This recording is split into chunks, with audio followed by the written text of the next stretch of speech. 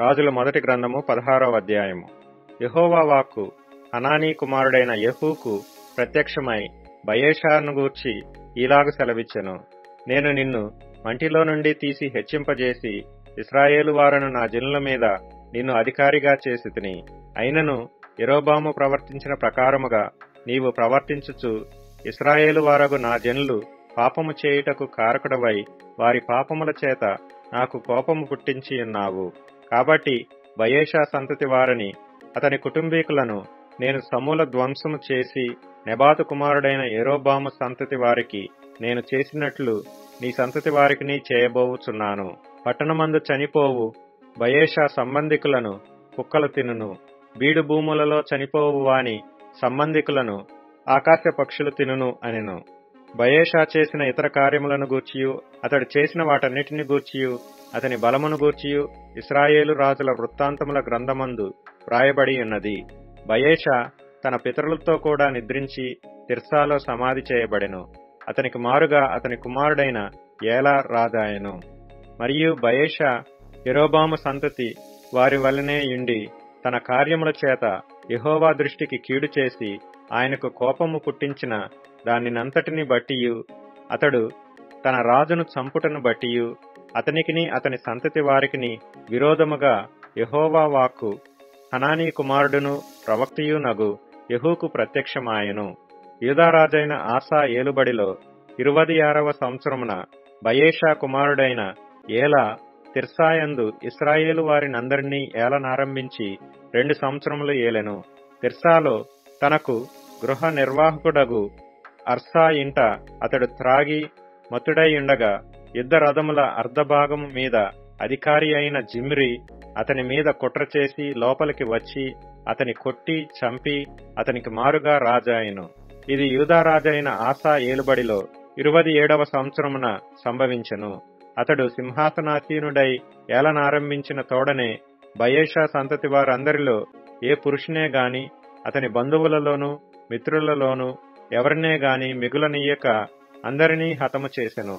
బయేషాయును అతని కుమారుడగు ఏలాయును తామే పాపము చేసి ఇస్రాయేలు వారు పాపము చేయుటకు కారకులై తాము పెట్టుకొనిన దేవతల చేత ఇస్రాయేలీల దేవుడైన యహోవాకు కోపము పుట్టించిరి గనుక వారు చేసిన పాపములను బట్టి ప్రవక్త అయిన యహూ ద్వారా బయేషాను గూర్చి యహోవా సెలవిచ్చిన మాట నెరవేరుటకై జిమ్రి బయేషా సంతతి వారినందరినీ నాశనము చేసెను. ఏలా చేసిన ఇతర కార్యములను గూర్చియు అతడు చేసిన క్రియలన్నిటినీ గూర్చియు ఇస్రాయేలు రాజుల వృత్తాంతముల గ్రంథమందు వ్రాయబడి ఉన్నది. యూదారాజైన ఆసా ఏలుబడిలో ఇరవది ఏడవ సంవత్సరమున జిమ్రి తిర్సాలో ఏడు దినములు ఏలెను. జనులు ఫిలిస్తీన్ల సంబంధమైన గిబ్బెతోను మీదికి వచ్చి అక్కడ దిగియుండగా జిమ్రి కుట్ర చేసి రాజును చంపించనను వార్త అక్కడ దిగియున్న జనులకు వినబడెను. గనుక ఇస్రాయేలు వారందరూ ఆ దినమున సైన్యాధిపతి అయిన ఒమ్రీని దండుపేటలో ఇస్రాయేలు వారి మీద రాజుగా పట్టాభిషేకము చేసిరి. వెంటనే ఒమ్రి గిబ్బెతోనును విడిచి అతడును ఇస్రాయేలు వారందరును తిర్సాకు వచ్చి దాని ముట్టడి వేసిరి. పట్టణము పట్టబడినని జిమ్రీ తెలుసుకొని తాను రాజనగరునందు చొచ్చి తనతో కూడా రాజనగరును తగలబెట్టుకొని చనిపోయాను. ఇరోబాము చేసినట్లు ఇతడును యహోవా దృష్టికి చెడుతనము చేయువాడై ఉండి తానే పాపము చేయుచు ఇస్రాయేలు వారు పాపము చేయుటకు కారకుడైనందున ఈలాగున జరిగెను. జిమ్రీ చేసిన ఇతర కార్యములను గూర్చియు అతడు చేసిన రాజద్రోహమును గూర్చియు ఇస్రాయేలు రాజుల వృత్తాంతముల గ్రంథమందు వ్రాయబడి ఉన్నది.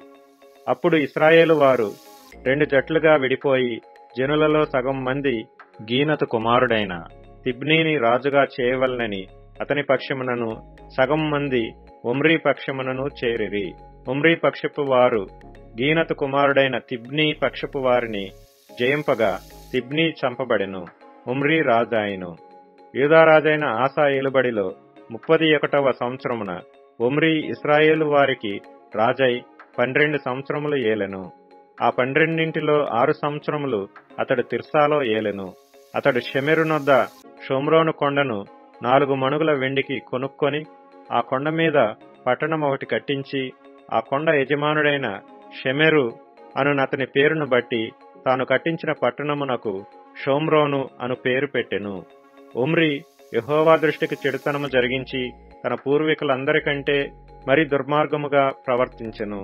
అతడు నెబాతు కుమారుడైన యరోబాము దేనిచేత ఇస్రాయేలు వారు పాపము చేయుటకు కారకుడై దేవతలను పెట్టుకొని ఇస్రాయేలీల దేవుడైన యహోవాకు కోపము పుట్టించెనో దానిని అనుసరించి ప్రవర్తించెను. ఉమ్రీ చేసిన ఇతర కార్యములను గూర్చియు అతడు అగుపరిచిన బలమును గూర్చియు ఇస్రాయేలు రాజుల వృత్తాంతముల గ్రంథమందు రాయబడి ఉన్నది.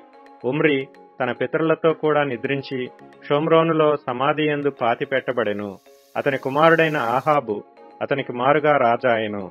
యూదారాజైన ఆసా ఏలుబడిలో ముప్పది ఎనిమిదవ సంవత్సరమున ఒమ్రీ కుమారుడైన ఆహాబు ఇస్రాయేలు వారికి రాజై షోమ్రోనులో ఇస్రాయేలు వారిని ఇరవై రెండు సంవత్సరములు ఏలెను. ఉమ్రీ కుమారుడైన ఆహాబు తన పూర్వీకులందరినీ మించునంతగా యహోవా దృష్టికి చెడుతనము చేసెను. నెబాదు కుమారుడైన ఎరోబాము జరిగించిన పాపక్రియలను అనుసరించి నడుచుకొనుట స్వల్ప సంగతి అనుకొని అతడు సీదోనీయులకు రాజైన ఎద్బైలు కుమార్తె అయిన యజబెలను వివాహము చేసుకుని బయలుదేవతను పూజించుచు వానికి మ్రొక్కుచూ నుండెను.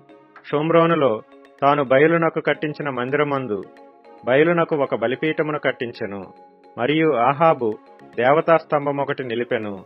ఈ ప్రకారము ఆహాబు తన పూర్వీకులైన ఇస్రాయేలు రాజులందరికంటే ఎక్కువగా పాపము చేసి ఇస్రాయేలీల దేవుడైన యహోవాకు కోపము పుట్టించెను. అతని దినములలో బేతేలీయుడైన హీయేలు ఎరికో పట్టణమును కట్టించెను.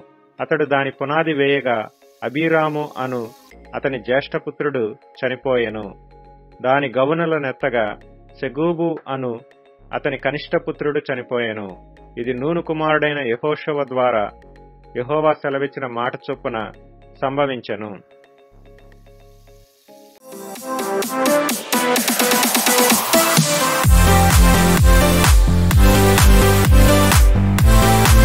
Yeah.